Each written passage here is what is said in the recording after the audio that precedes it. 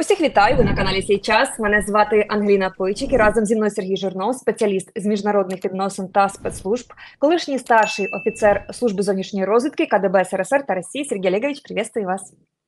Здравствуйте, Ангелина, и привет всем нашим зрителям.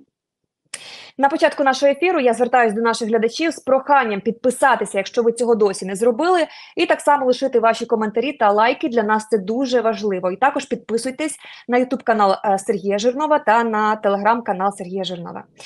Сергей Олегович, э, я предлагаю начать из такого. После ракетного удара по детской больнице Ахмадет 8 июля э, один из российских летчиков, который был шокированный, судя по всему, этим преступлением, передал украинской разведке секретные документы и фото командного состава 22-й тяжелой бомбардировочной авиационной дивизии России.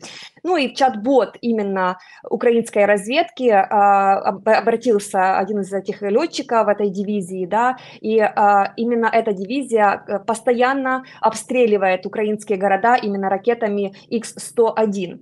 Э, ну и, собственно, он слил данные о своей дивизии. Вот в связи с этим хочу вас спросить, э, этот летчик, как вам кажется, он действует один или за ним кто-то стоит? И является ли это отражением, что именно вот такие атаки страшные, террористические, они говорят о неком расколе в российской армии или нет?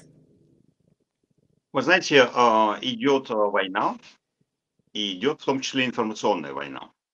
Поэтому, когда идет информационная война, и особенно все такие истории, связанные с а, шпионскими ведомствами, к ним надо относиться очень с большим опасением. Да, потому что, ну вот я вам скажу, как с точки зрения оперативного кадрового сотрудника бывшего разведки, эта публикация у меня вызвала некие сомнения. Вот какие сомнения. Не то, что э, список неправильный. Список наверняка правильный, да, и, и так далее. Но вот посмотрите, если есть такой летчик, да, и по идее, который, у которого проснулась совесть, и который э, по зову совести предоставил украинской стороне этот список. Публикация такая э, публи, вот в, в каком-то СМИ, ставит этого летчика а, под опасность быть разоблаченным, арестованным, осужденным на длительный срок осуждения, заключения сейчас в Российской Федерации. То есть, грубо говоря, украинская разведка, которая получила от такого ценного источника эту информацию, слила ее в публичное пространство и таким образом убила этого источника. Вот для меня, как для бывшего шпиона, это совершенно ненормальная ситуация. И поэтому я очень сильно сомневаюсь, потому что если это действительно так, то украинская разведка ведет себя непрофессионально, а если это не так, то это ИПСО. Вот, я эм, думаю, что это ИПСО. Я думаю, что у украинской разведки были сведения о составе этой дивизии э, агентурным путем и до этого потому что российские, вот там публикуют, публикуются фотографии, как они там празднуют, какие-то всякие, э, какие-то свои там дни рождения, там что-то такое. Да, а вот это мы знаем, что российские э, граждане вообще, в принципе, очень любят социальные сети, и российские военные в том числе, причем даже самые секретные военные, даже вот в секретных частях таких, вот, они на самом деле в каких-нибудь там одноклассниках, ВКонтакте, э, сливают фотографии. Если они, то их жены, если их не их жены, то их э, семьи. И поэтому я так думаю, что на самом деле у ГУР э, имеется довольно большая база компьютерная вот таких доступа к таким профилям, доступа к таким группам, э, доступа к таким фотографиям там, и так далее. Вот. И а, поэтому, а, мне кажется, эта история с а, российским летчиком, который якобы слил, значит, эту фотографию, это способ легализации а, этого материала, который и так уже был в распоряжении а, украинских органов разведки. Вот. А, ну и на этом деле составили красивую историю. Она действительно красивая, она такая правильная. А, то есть, грубо говоря, а, то есть, вот, конечно, прекрасно было бы иметь а, российского летчика, у которого проснулась совесть военного, и который просто в качестве военных преступников слил бы всех своих коллег. Но, опять же, я вам повторю, что с точки зрения безопасности этого источника, такая публикация нарушает все каноны работы спецслужб, и в частности ГУРа. И это у меня вызывает очень большое сомнение. Сергей Олегович, этот удар случился 8 июля, повторюсь, э, сейчас, по сути, мы с вами подбиваем такие итоги этой недели, и она очень страшно началась. Вот если говорить а, спустя, э, да, некоторое время после этого, есть ли у вас понимание, что произошло, в том смысле, чего добивается Кремль таким образом? Была ли эта э, атака санкционирована лично Путиным, или это же его окружение, тот же Белоусов или Герасимов? А, Я очень сильно сомневаюсь, э, что эта атака была эм, санкционирована лично Путиным. А, И, а, ну, эм, потому это было видно, вот мне было видно это по э, реакции Путина на заявление Моди, который находился в Российской Федерации, и который не смог не отреагировать на это дело, да, потому что Моди э, был поставлен в чрезвычайно невыгодное положение, у него был визит официальный в Российскую Федерацию, и прямо в это, во время этого визита состоялась такая жуткая э, атака на детский госпиталь. На, кстати, на там две больницы, там еще забывают, что был еще по-моему, частный роддом э, разрушен, э, так что там Да. на самом деле несколько объектов, да, потому что все сфокусированы вот на этой детской больнице, но во втором учреждении там погибло 7 человек, там 5 санитарок и два, по-моему, клиента или клиентки этого, этого роддома частного. Так что на самом деле такой комплексный удар был. Вот. Это была ну, очень странная история, потому что она Путину была совершенно невыгодна. А, потому что только что к нему приезжал а, Орбан со своим мирным планом, тут приехал к нему, а, значит, премьер-министр Индии с очередным разговором о мире, перемирии, и вдруг такой страшный удар, который прошел, безусловно, по всем мировым СМИ, он вызвал очень большую волну возмущения во всем мире, не, не только, кстати, на Западе, но и в, в так называемых странах Юга, потому что это абсолютное воинское преступление. И э, судя по тому, как Путин э, реагировал на прямолинейные заявления Моди ему прямо в лицо, что это ненадлежащие методы ведения войны, э, и Моди сократил, кстати, свой визит и уехал раньше из России на один день, вот, Путин был к этому не готов, и то есть если это исходило из Путина, то он просто сумасшедший, что, кстати, не исключено, потому что он часто делает вещи, которые противоречат его же интересам. Вот, но если исходить из рационального построения, то, скорее всего, это все-таки заговор против Путина внутри Кремля. Другое дело, что там может быть две версии. Это может быть, с одной стороны, заговор э, клана отмороженных ястребов, который таким образом Путина, Путину отрезают всякий, всякий путь к договоренности, к мирной, и толкает его еще на, на еще большую эскалацию войны.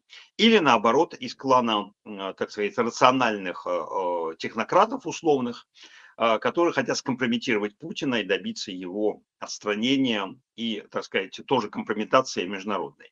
И то, и другое, и та, и другая версия укладывается в логику аналитическую, вот у нас мало информации, чтобы э, сказать, какая, какая из них более, более вероятна. Но э, вот эти обе версии, они на самом деле укладываются в самое, самое главное в другое.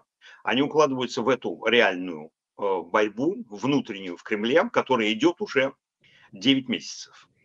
Вот эта э, борьба идет, начиная с октября прошлого года, когда там э, сначала Путин выдвигался или не выдвигался, раньше хотел выдвинуться в, э, на выборы позже, с военной тематикой, без военной тематики, потом убийство Навального, отдача тела матери и похороны, и не отдача тела матери и похороны, выдвижение Надеждина и задвижение Надеждина, и, наконец, перестановки майские в военном ведомстве, когда снимают Шойгу, Патрушева снимают, заменяют их эм, на Белоусова, и э, там, так сказать, перестановки, которые дезорганизуют на самом деле работу военного ведомства и военных структур Российской Федерации на самом верху.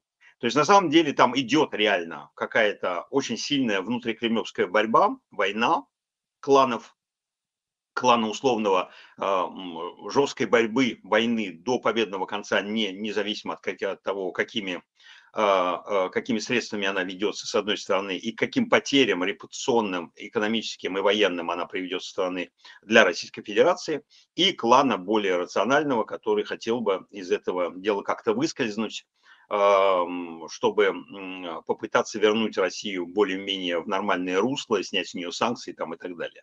То есть на самом деле вот эта, а, эта война, она говорит о том, что этот удар укладывается, скорее всего, вот в эти две версии, а не в ту версию, что это просто сумасшедший Путин, а, для того, чтобы эпатировать общественность и самого себя скомпрометировать во время, во время визита Моди, вдруг отдал такой сумасшедший приказ. А есть вероятность, что Путин потеряет контроль над э, армией, над силовым блоком, и кто-то из крыла ястребей перехватит, скажем так, такую инициативу? А он давно потерял ее. Он, он давно потерял этот контроль, поэтому и идет эта война. Эта война идет между двумя блоками, которые между собой за спиной Путина, э, который ничего уже не решает, э, э, ведут эту войну. Потому что Путин, было видно, что там Пригожин обнажил в прошлом году, год, год назад, 23 и 24 июня, своим путчем, что на самом деле нет никакой власти центральной, никакого Путина нету. То есть и никто не защищает Путина там и так далее. Вот, и поэтому вокруг Путина идет эта война, вот я сказал, 9 месяцев, но на самом деле она уже идет там больше года, да, потому что это вот начиная примерно а на самом деле даже еще раньше, да, потому что вот даже война Пригожина с Шойгу с Герасимовым, она же началась там, а, даже полтора, сколько, да? Полтора. В сентябре 22 года, то есть скоро два года будет все это дело. То есть вот этот, mm. весь этот бардак идет практически с сентября 22 года, потому что если бы э, вот тогда, когда Пригожин начал в публичное пространство выходить и требовать там отставок э, Герасимова и э, Шойгу, Путин как глава государства, а Патрушев как секретарь Совета Безопасности должен был немедленно прекратить это дело, перерезать, запретить ему выходить в пространство. Тем не менее, все это дело продолжалось. То есть мы видим на самом деле, что эта война породила внутренние проблемы внутри Кремля, и вот эта война башен Кремля продолжается уже скоро а, там два года, а на самом деле, может быть, даже и с самого начала, потому что если вы вспомните э, знаменитое заседание 21 февраля 22 года, когда блеющий Нарышкин, значит, там что-то там блеял, вот, и Путин заставлял практически публично всех э, ему приносить присягу на крови, э, чтобы перед тем, как начать это, это наступление, а ведь перед этим было заявление 31 января 22 года генерал-полковника Ивашова, который обвинил Путина в, эм, в преступлении против э, Российской Федерации, призвал его уйти в отставку, назвав его практически военным преступником. То есть на самом деле там проблемы идут вот все эти два с половиной года э, вокруг Путина, внутри Путина в, в Кремле. Вот просто ни один из кланов не может победить, ни один из кланов не может эм, одержать существенную победу. Каждый раз, когда получается победа, значит, тут же есть какая-то компенсация, потому что вот Патрушева, допустим, убрали, но Путин а, все-таки его оставил каким-то там своим помощником, все посмеялись над этим помощником по кораблестроению там, и по судостроению, вот э, Путин его там ссылал э, в Латинскую Америку э, в феврале этого года, потом его, значит, сослали в это, значит, в кораблестроение, когда все заседали на Петербургском форуме, Патрушева сослали в Карелию открывать какие-то там якоря у ледоколов, вот, но тем не менее он возвращается и потом устраивает заседание торжественное, торжественное, где, значит, день э, судостроителя, туда, значит, приходит Путин, но одновременно Путин э, устраивает это совещание ночью, э, то есть вот мы видим, что там идет постоянная, постоянная борьба, и каждый из этих кланов вроде бы победил, сначала мы считали в, январе, в мае месяце, в июне месяце, клан Чемизова, то есть более рациональный клан вот этих самых технократов, э, условных эм, либералов, ну, хотя там нет ни либералов, ни голубей никаких в Кремле, они все э, за войну, но за войну разными способами, и за войну а, сокращающуюся или наоборот за ее эскалацию. Вот. И, в общем, это такое, по-французски это называется йо-йо. А, вот была такая игрушка, знаете, на резиночке, э, которой, значит, э, дети, детишки ходят там, и на резиночке она у них так э, вверх-вниз, вверх-вниз, значит, эластично прыгает. Вот и в Кремле вот такая же, такая же борьба. То эскалация, то разрядка, то эскалация, то разрядка, то эскалация, то разрядка. И ни один из этих кланов не может победить. И вот мне кажется, вся эта история последняя с бомбардировкой жесткой Киева, с таким ужасным преступлением, которое взволновало весь мир, она как раз четко совершенно вписывается в логику вот такого внутрикремлевского противостояния, такого заговора вокруг Путина, а не отдачу Путиным лично а, этого приказа, а, вот, хотя он балансирует всегда между этими двумя кланами. Сергей Олегович, пишут, э, что э, министр обороны Российской Федерации Белоусов э, скрыл родных по отцовской линии, которые, скорее всего, живут в Киеве. Накануне жительница США Наталья Вертинская представилась двоюродной племянницей Белоусова, обратилась к нему дядя Андрей и да, попросила, призвала прекратить войну после удара именно по детской больнице Ахмадет. Также, ну, то есть очень широко разошлось это видео, э, что э, даже, э, скажем так, брат министра обороны, экономист Дмитрий Белоусов, он оправдывался, заявил российскому изданию, что у них нет родственников в США по фамилии Вертинские. Но другие журналисты пишут, что официальная биография Белоусова, она не позволяет проверить эти слова, в ней как раз и нет упоминаний о деде по отцовской линии. Ну и, кстати, тоже интересно, ведь говорит а, это госпожа Наталья Вертинская, это, это блогер, о том, что э, значит, э, бабушка, дедушка а, Андрея Белоусова, они похоронены как раз в Киеве, что двоюродный брат Андрея Белоусова, он тоже живет в Киеве и даже называла Святошинский район. И вот говорит о том, что они никогда не общались тесно, но тем не менее сейчас пришло время обратиться публично к дяде Андрею. Э, правда ли это и почему, если это да, Белоусов скрывает своих родственников в Киеве? Это отличная информация, потому что она как раз укладывается в то, что я вам только что рассказал, войну, э, войну ИПСО э, вокруг э, Путина, вокруг Российской Федерации.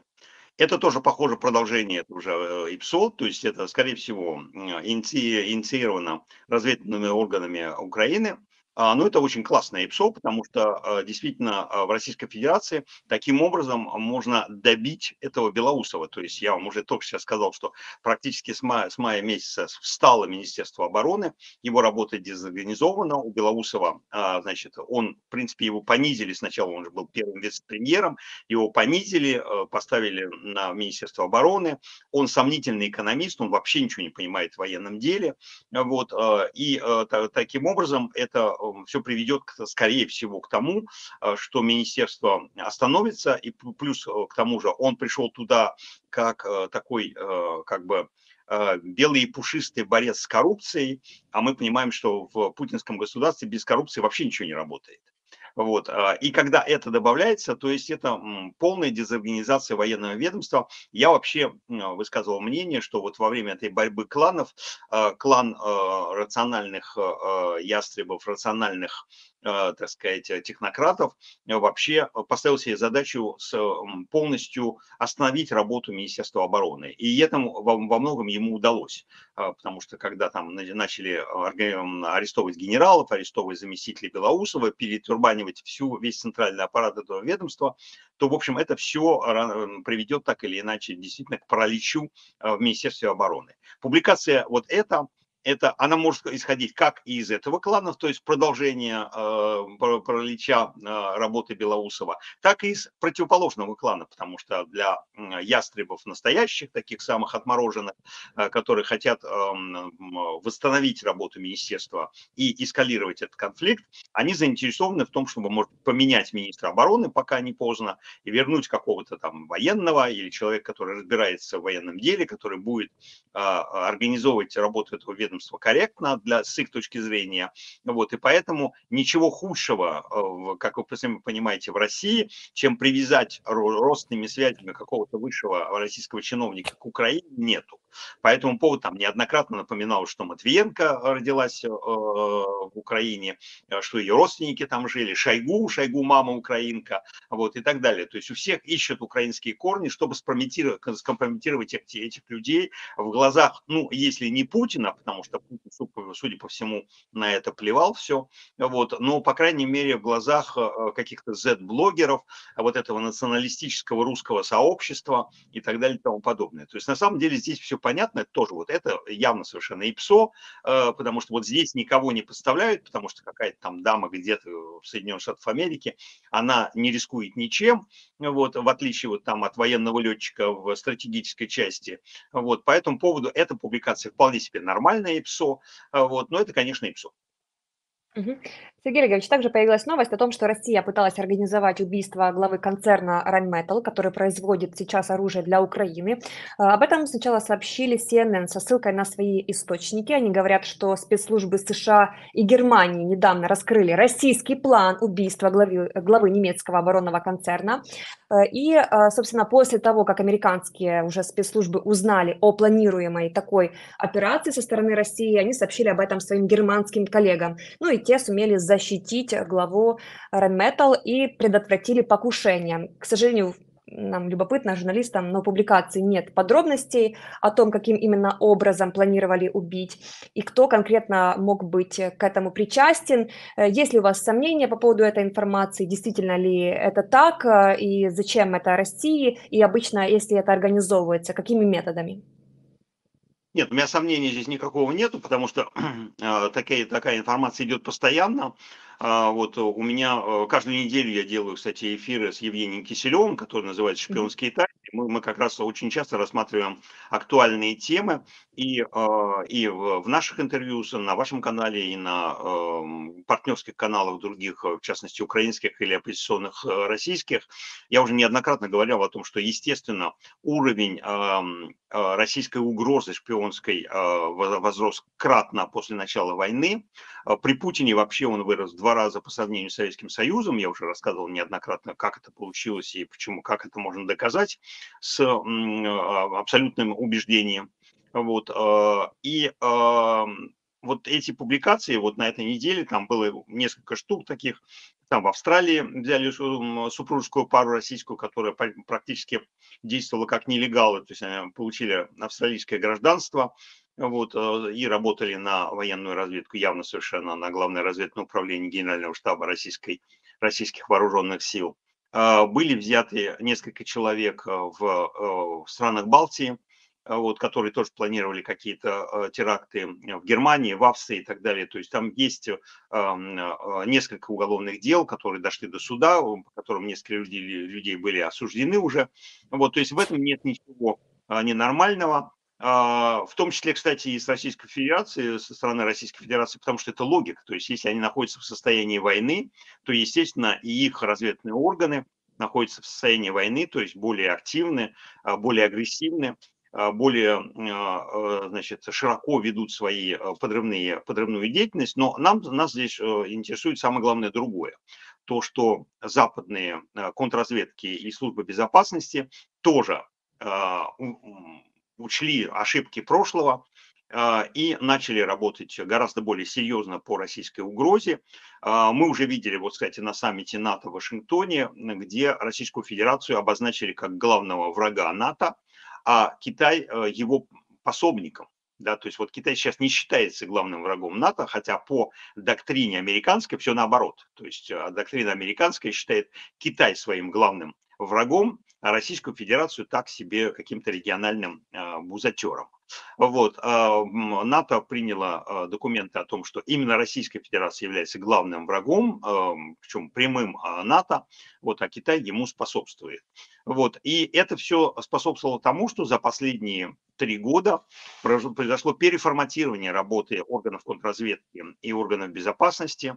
А, Вот. Были, кстати, те, кого нельзя арестовать, а, высланы из многих стран, и э, высылка это довольно серьезная, то есть там порядка 700-800 а, так называемых легальных разведчиков, которые работали под легальными крышами посольств, консульств, торговых представительств и так далее, которых, у которых было дипломатическое прикрытие, их нельзя посадить в тюрьму, их нельзя задержать, их можно только выслать из страны. Это было сделано, потому что раньше их терпели на территории западных стран, и последняя большая высылка была только в 2018 году, после истории с покушением на Скрипалей э, в Великобритании. Тогда было выслано 152 российских разведчика из 25 стран и из э, НАТО. И тогда закончилось, кстати, представительство Российской Федерации в НАТО.